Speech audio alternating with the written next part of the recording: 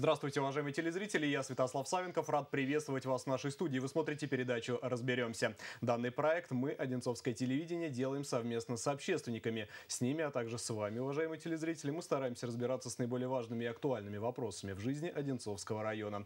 Так, сегодня мы поговорим с общественной палатой района о том, как именно они принимают заявки от вас, уважаемые жители, и как они используют инструмент выездных приемных. В наших гостях сегодня Захар Юрьевич Иванов, председатель общественной палаты. Здравствуйте. Здравствуйте. А также Светлана Геннадьевна Налепова, ответственный секретарь общественной палаты Одинцовского района. Добрый вечер. А, Светлана Геннадьевна, Захар Юрьевич э, действительно уже, в общем, практически полтора года работает э, общественная палата второго созыва. Я так понимаю, что у вас имеется на вооружении множество инструментария взаимодействия с общественниками, другими общественниками нашего района, с властями, с жителями. А, и один из этих инструментов это как раз-таки выездные приемные. А, ну, давайте поговорим, насколько вы вообще считаете, что данный инструмент инструмент, э, в общем-то, эффективен, насколько он себя оправдывает?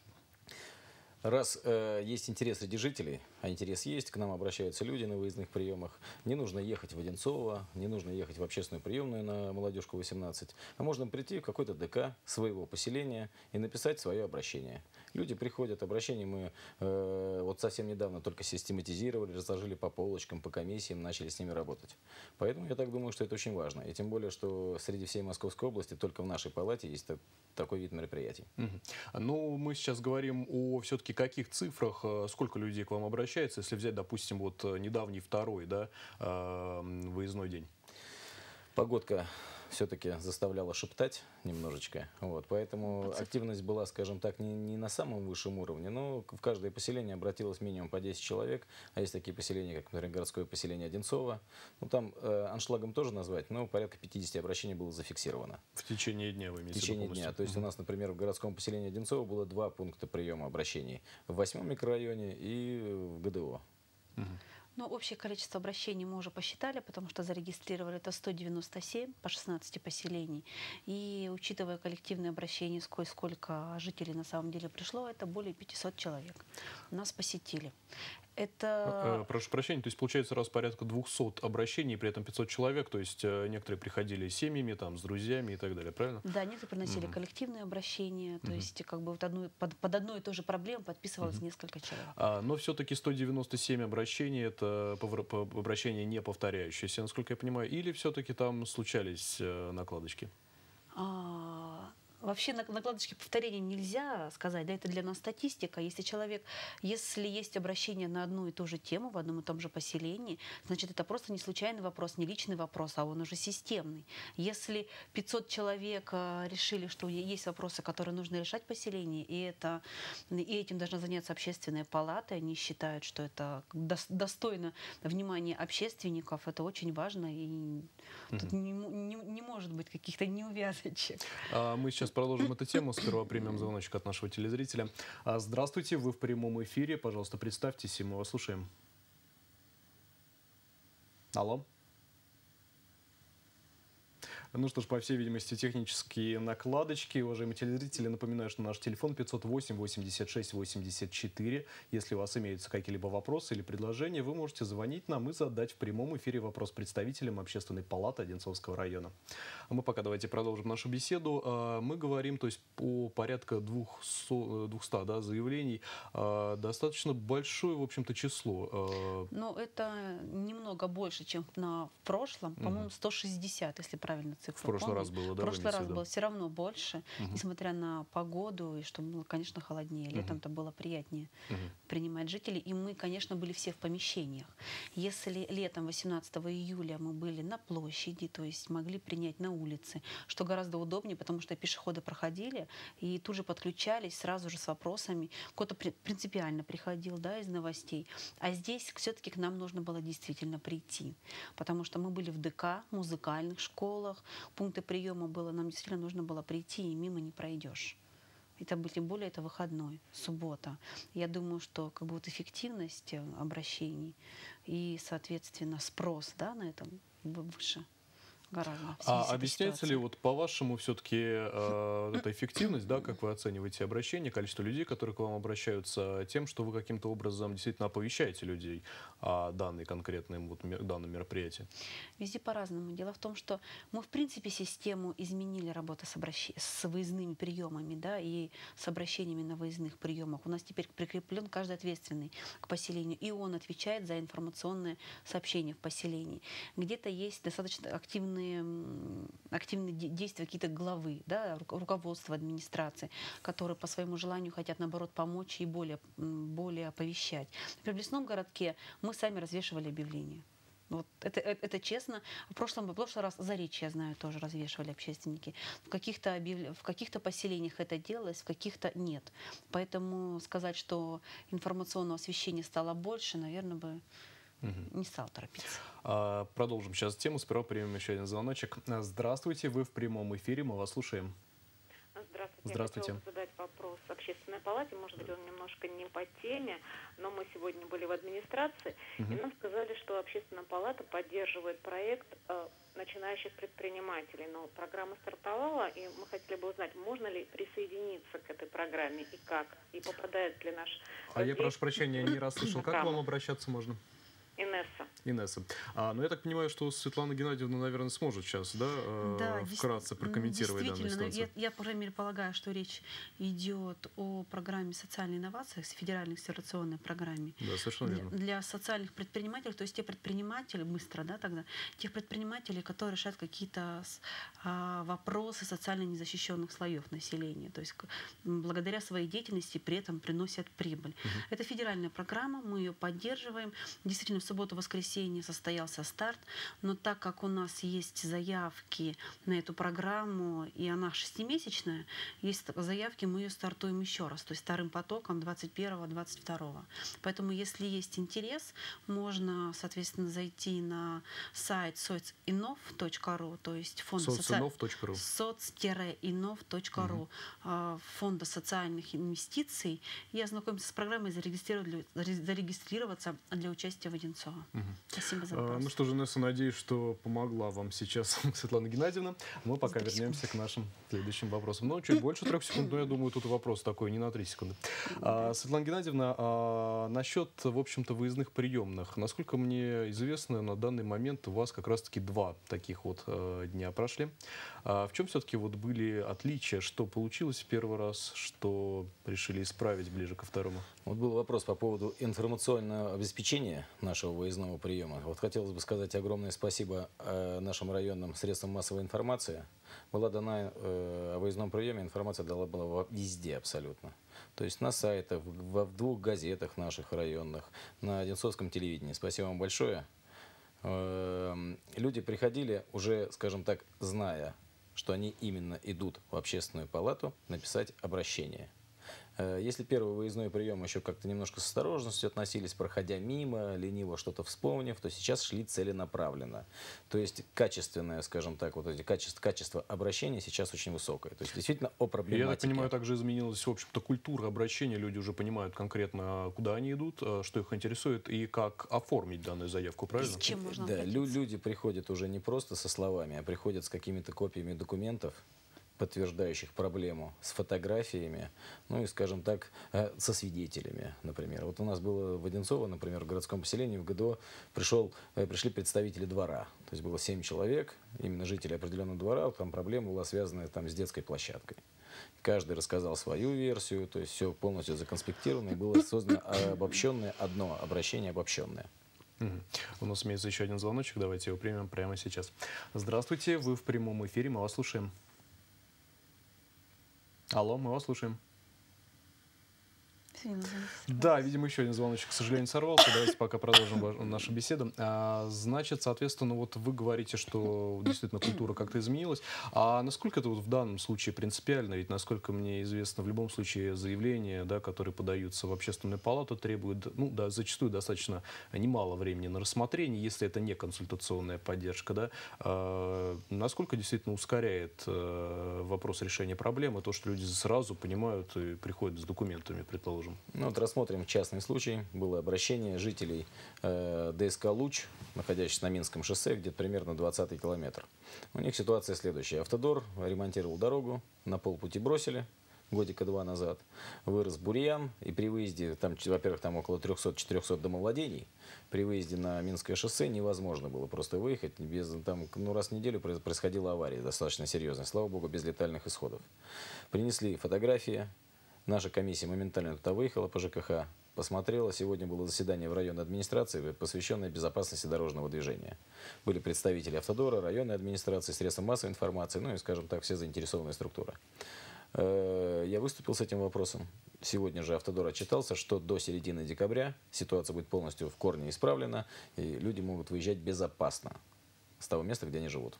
А все-таки каким был механизм решения этого вопроса? Давайте поподробнее поговорим. Механизм? А, что людям пришлось предоставить? Э, пришлось ли им побывать на каких-то круглых столах и так далее? Во-первых, это было обращение, э, это были подписи, фотографии приложенные полностью со, со всех ракурсов, приложены фотографии поврежденных машин, именно с датами указания ДТП. То есть, ну, в принципе, такой полный материал. Даже выезжать не было смысла, даже вот в этой ситуации, потому что была информация полностью предоставлена. Ну и, дай бог, она решится до середины декабря. А каким образом компания предлага, предполагает да, данный вопрос решать? Вложить деньги и исправить ситуацию. Угу. А, ну что ж, давайте пока примем еще один звоночек. Здравствуйте, вы в прямом эфире, мы вас слушаем. Здравствуйте, Здравствуйте. меня зовут Григорий. Вот у меня такой вот вопрос.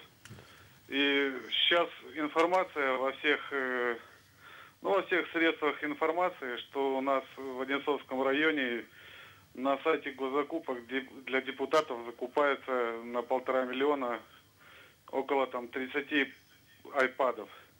Вот как общественники относятся к такому, к такой закупке? Каково их мнение?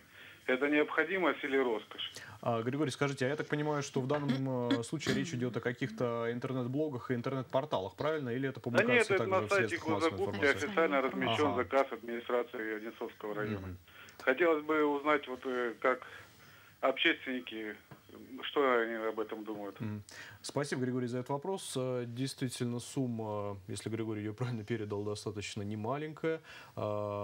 Как считаете, вообще стоит ли с данным вопросом поподробнее, скажем так, ознакомиться, да, или все-таки оставим все на совести наших властей? Но ситуация следующая. Первое. Все-таки все э, публикации на госзакупках, то есть все объявленные тендеры, проходят согласование, э, во-первых, в специальных тендерных комиссиях, тендерных отделах, во-вторых, соответственно, есть у нас Федеральная антимонопольная служба. Если где-то на месте чиновники сделают что-то не так, завысят цену, например, за какую-то единицу, то очень большой интерес будет и огромный штраф, я знаю, со стороны Федеральной антимонопольной службы. Э, я присутствовал на трех заседаниях Совета депутатов когда еще, я так понимаю, не было там айпадов или каких-то других там, я не знаю, там приспособлений. Возле каждого депутата лежала стопка бумаг, ну, вот я врать не буду, где-то примерно сантиметра три толщиной, потому что там обычно депутаты в повестке 30-40 вопросов. Ну, вот на последнем совете депутатов было 40 с чем-то вопросов. Ну, это где-то 3 сантиметра толщина папочка бумаг. И вот они, когда все это дело перебирали, было немножко там потери времени и прочее. Я не за айпады, я не за полтора миллиона, я за то, чтобы э, были нормальные технические средства для того, чтобы Совет депутатов проходил правильно. То есть не было потеряно времени у тех же самых глав поселений, которые являются нашими районными депутатами. Э, покомментировать сумму я не могу, честно сказать, в ценах на iPad я мало понимаю. Если действительно как бы полтора разделить на 30, то это получается примерно 50 тысяч за один iPad. Ну, надо посмотреть в интернете цены на сайте МВидео, соответствуют они действительности или нет. А скажите, вообще, что наших людей вот э, больше всего, по вашим наблюдениям, беспокоило за, скажем так, вот эти выездные приемные, ну, да. Я, в принципе, могу статистику Пожалуйста, сказать. конечно. Вот по каким, э, допустим, скажем, давайте так разделим, по, какому, по какой комиссии больше всего а, из представленных в нашей общественной ну, палате было вопросов? выездные приемы конкурировали, наверное, два вопроса. Это ЖКХ, застройки, да, и здравоохранение социальных объектов. То есть сейчас у нас 79 обращений ушло на работу в комиссию по ЖКХ и 51 обращение ушло в комиссию по здравоохранению. Ну, на третьем месте образование, это вот детские сады еще беспокоят, особенно лесной городок. Я просто хотела, может, немножко рассказать про отличия выездных приемов, да, которых первые и вторые мы немного отклонились от, от курса в связи с вопросом. Я думаю, не лишним это не будет. Давайте примем еще один звоночек и поговорим э, по отличиям. Здравствуйте, вы в прямом эфире, мы вас слушаем. Я слушаю. Я жду. Вы слушайте, а, здравствуйте. Да, это мы, мы вас слушаем. слушаем. Пожалуйста, рассказывайте. Здравствуйте. Я вам звонила месяц тому назад, мне, но я ответа не получила. Так. Как Полнопочка. теперь мне делать? Что делать? Ответ, вопрос такой. Это 62-й и 70-й. У нас в доме есть подъезд, э, счетчики на освещение подъезда. Вот. Мы платили, когда начали оплачивать подъезд, за, за освещение подъезда, я подняла карты, все квитанции в пределах 20, 25, 35. Теперь мы платим 269. Обращался в управляющую компанию, мне объясняли тариф, потом сказали норматив. И вы знаете, с мая месяц, в мае мы, нам прибавили 16, в июле 16, теперь сентябре тоже сколько-то прибавили, не припомню. И теперь нам за октябрь прибавили 269 рублей. Мы за освещение подъезда платим. А зовут как? А, прошу Я прощения, не расслышала. А как к вам можно обращаться? В управлении ходят электрики, снимают счетчики, отдают управляющей компании и все, конец. А скажите, как к вам обращаться можно? Светлана Петровна. Светлана Петровна, я так понимаю, вам а, пообещали, что данный вопрос будет передан в комиссию по ЖКХ, правильно? Мне ничего не сказали. Мне сказали, ждите ага. ответ. И я уже месяц жду. Оставьте просто телефончик, а, мы Да, Светлана Петровна, ваши данные мы, конечно, запишем. Вообще, э, должен, наверное, Захар Юрьевич, Светлана Геннадьевна обратить на данный вопрос ваше внимание. У нас уже второй раз подряд проходят звонки касательно комиссии ЖКХ. То есть данные мы передаем, и дальше комиссия по ЖКХ не перезванивает. Ну, вы знаете, вот за два дня было получено 79 понимаю, обращений. Понимаю, но тем не менее, тем не менее, у нас все-таки, сами понимаете, концепция передачи, раз люди звонят, да, то они хотели бы моментально хотя бы, чтобы им перезвонили и ознакомились, да, пусть и не решили, но ознакомились, да, с их э, проблемами. Давайте все-таки постараемся, да, вот на этот вопрос все-таки более подробное внимание обращать. Получается, хорошо. сами понимаете, Очень хорошо. Это Можайское шоссе, я так понимаю, да? Да, Светлана Петровна, мы записали телефон, наш специалист специалисты вам его сразу после передачи передадут. Давайте мы пока продолжим нашу беседу. Действительно, у нас имеются, я так понимаю, отличия да, между тем, как проходили выездные приемные в первый день и тем, как они проходили во второй день. Ну, в чем они, собственно, отличаются? Ну, отличия заключаются? Так. И перед тем, как встретиться с жителями во второй раз в выездном приеме, мы встретились с главами всех поселений. Э, по, со, вопрос был самый главный, это состояние дел по тем вопросам, которые у нас уже были в копилке по каждому поселению. И с жителями мы уже встречались уже с, не, с определенными ответами в этот раз. Именно ответственные поселения, которые и будут прикреплены, и будут работать дальше. Поэтому вопрос был активнее. А второй момент. Мы немножко увеличили пунктов приема. Например, мы наконец-то охватили э, отдельно восьмой микрорайон проблемный. И по количеству обращений, возмущений, вопросов жителей у нас два самых проблемных объекта. Это лесной городок, с отсутствием э, социальной инфраструктуры, вернее, ее очень мало по сравнению с жителями, с количеством жителей, и проблем очень много. И восьмой микрорайон, то есть не зря мы там э, выделили отдельную группу, которая работала. И в связи вот с этим, может быть, шквалом вопросов и активностью жителей, которые очень беспокоятся за качество жизни в восьмом микрорайоне, мы даже создали на последнем заседании рабочую группу по восьмому микрорайону микрорайону, в который вошло по своему желанию большое количество человек, около 10 с разных комиссий. То есть даже сами общественники понимают, насколько важно заняться Я этим понимаю, районом. там достаточно комплексные проблемы решала данная группа, поэтому, собственно, такое э, большое количество людей и было привлечено, правильно? Да, микрорайон, на удивление, имеет он как, как будто отдельное какое-то поселение, удаленное от остальной части. Я думаю, что это связано с переездом, да? Ну, видимо, да, исторически поселение. так сложилось, и географически, пожалуй, тоже. А я предлагаю, Светлана Геннадьевна, Захар Юрьевич, сейчас посмотреть, как проходил первый выездной день общественной палаты. Наша съемочная группа присутствовала в этот день на улицах э, поселения нашего района. А потом мы сравним с тем, что получается сейчас. Новая общественная палата работает с 12 июля 2014 года. За это время в нее поступило 518 обращений. Для связи с жителями общественники используют телефонную связь, интернет-порталы и живое общение. Теперь пришло время и выездных приемных. Бытует мнение, что общественная палата заседает в кабинетах, в душных залах. Жалобы принимаются по каким-то определенным дням, не поймешь каким. Вот сегодня принимаем абсолютно всех. Суббота, выходной день, и каждый может обратиться с любым вопросом. В общественную палату зачастую обращаются люди, не удовлетворенные работой местных властей или желающие получить консультацию. Немало недовольных жителей пришли к общественникам и в субботу. По стоякам, что у нас потекли и испортился подъезд, с 2012 года чиновники практически ни на что не реагируют. Видимо, они привыкли только с зарплатой справляться, а вот с работой вопросы. Выездной прием по обращениям граждан организовали во всех поселениях района. Работали все восемь комиссий общественной палаты. Предварительные заявки на сайте общественников заполнили 62 человека. Об акции извещали через средства массовой информации и социальные сети. Во-первых, отношение э, к человеку. Во-вторых, вот знание законов, так сказать, от А до Я. Спасибо побольше бы таких людей и такого отношения к человеку, который такого внимания сейчас очень и очень мало. Идея организовать выездные приемные уже давно витала в воздухе. Ведь основной инструмент общественников района – это постоянная обратная связь с жителями.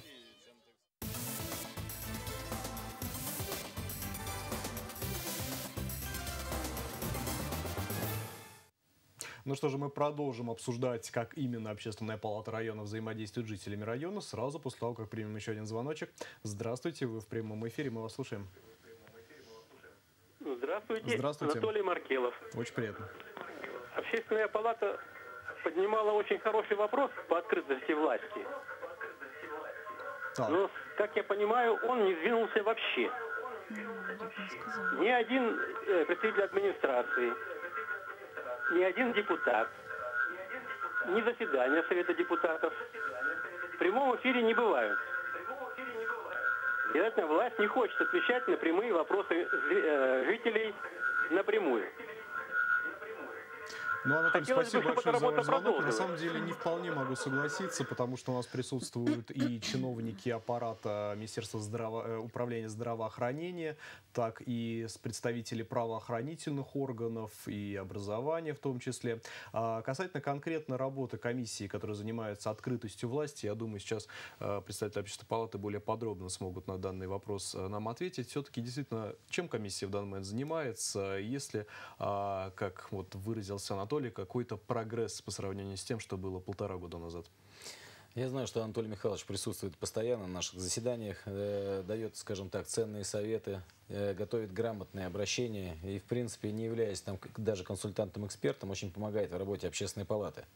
Э, некоторое время назад был написан меморандум от лица всей общественности, все поддержали его по обращению к власти по поводу открытости. Там было, скажем так, шагу, несколько шагов по открытости. Пять. Мы, пять шагов, да. Соответственно, общественная палата, все-таки давайте так по-честному, это рекомендательный орган. Мы рекомендовали власти как бы хотели жители, насколько она должна быть открытой. Вот. Я считаю, что в принципе э, на, на все вот как бы круглые столы и прочее, прочее приглашаются все средства массовой информации. Совет депутатов, вот я просто присутствовал, действительно был настолько битком забит зал. Я знаю, что сейчас э, все-таки решается вопрос о предоставлении какой-то большей аудитории, потому что ну, там яблоку негде упасть. У нас все-таки в данный момент 32 депутата, районных. Плюс еще, соответственно, при, приглашают туда заместителей, то есть, ну, чтобы, соответственно, с докладами они выступали. То есть зал битком набит. Средства массовой информации, я там, вот я на четырех присутствовал, я там видел на трех заседаниях средства массовой информации. То есть, как бы, ну, за, особой открытости я не видел. Да. Могут туда зайти, соответственно, все желающие, но просто там негде сесть. В том маленьком и душном зале. Угу.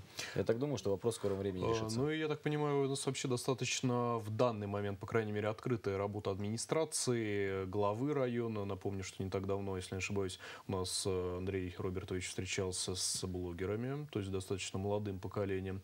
И я так понимаю, что вообще у нас общественники, я имею в виду, кроме общественной палаты, вообще работают с властями, правильно? Да, я знаю, что Анатолий Михайлович совсем недавно, вот это буквально в конце лета, мы встречались с главой, вот как раз присутствовали вместе представители средств массовой информации Андрей Остроухов, Анатолий Михайлович Маркелов, соответственно, и я. И глава открыто с нами общался в неформальной обстановке. То есть, в принципе, как бы говорить о закрытости власти, ну, как бы язык не поворачивается. Ну, органы власти все время участвуют в наших встречах, особенно по застройщикам. Вот сейчас мы организуем встречу по проблемам лесного городка. Да? Сейчас мы уже отправили вопросы как раз по выездному приему, да, если говорить.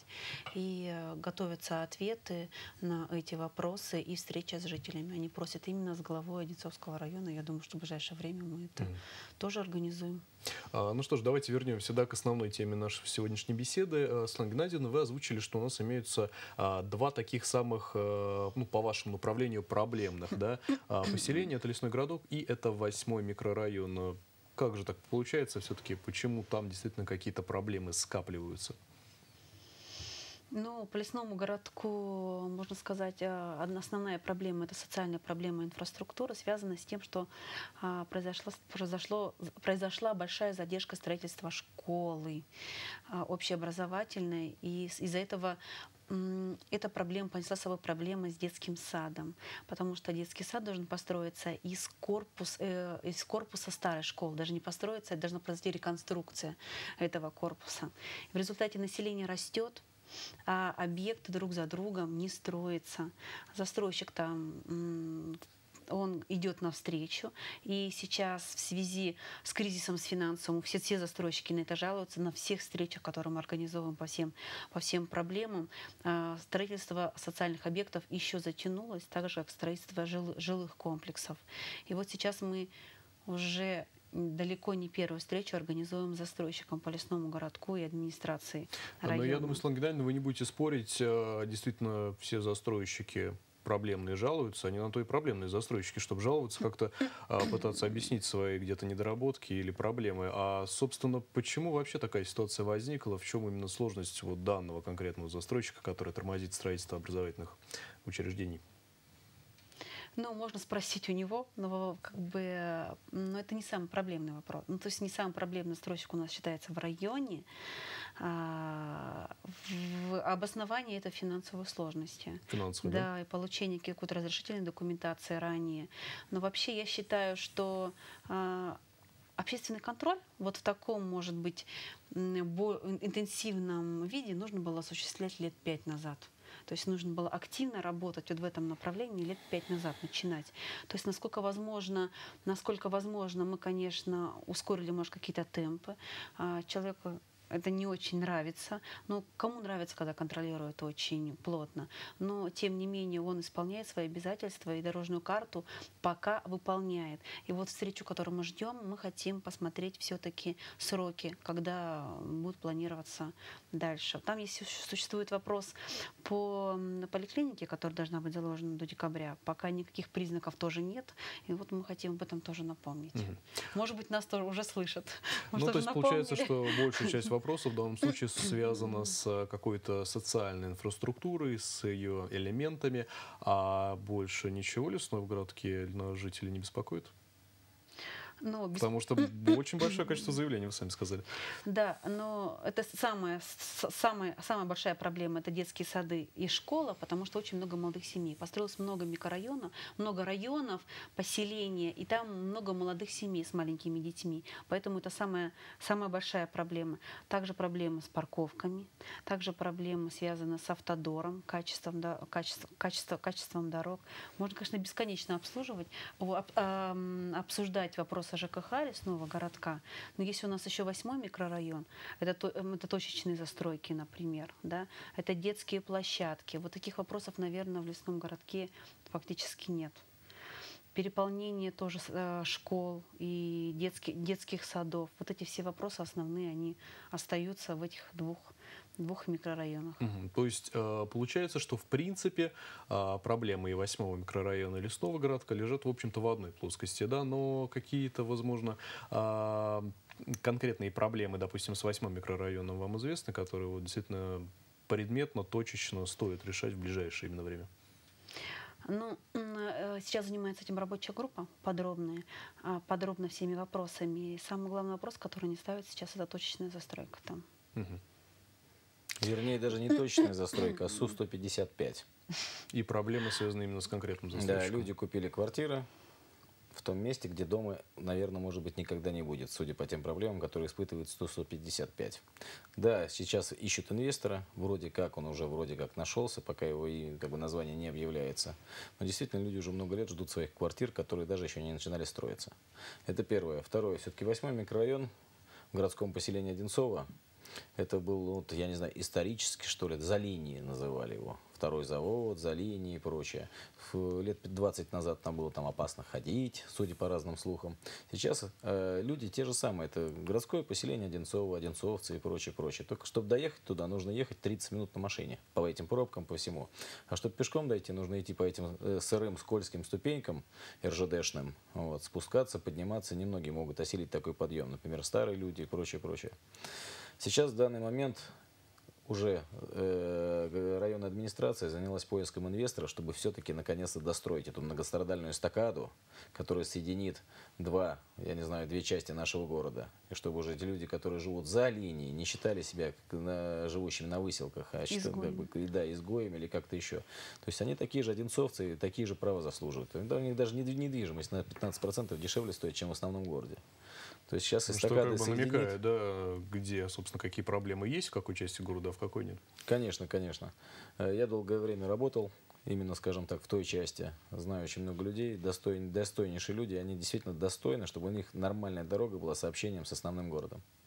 А, ну что ж, Захар Юрьевич, Светлана Геннадьевна, благодарю, что вы к нам сегодня приехали. Я так понимаю, что практика выездных приемов будет продолжаться, судя по вашей а, реакции на то, какой эффект она дает, на то, какие люди к вам приходят, в каких количествах. Ну а мы будем за данной вашей практикой внимательно следить. Спасибо.